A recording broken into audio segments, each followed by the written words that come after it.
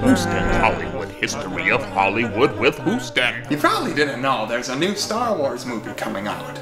That doesn't make you stupid, but I'm telling you there is one coming out so you're not stupid. And I bet you didn't know all this history about Star Wars that I'm gonna get ready to spew all over you. Like Luke Skywalker's.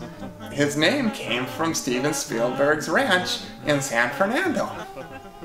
And did you know that Star Wars was originally called Space Invader?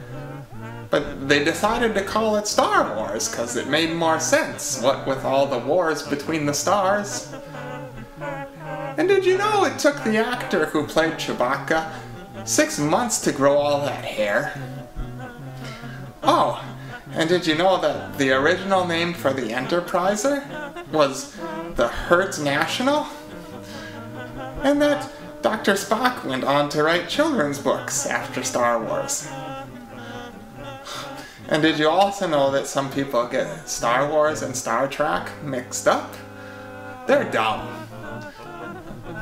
Live long and prosper.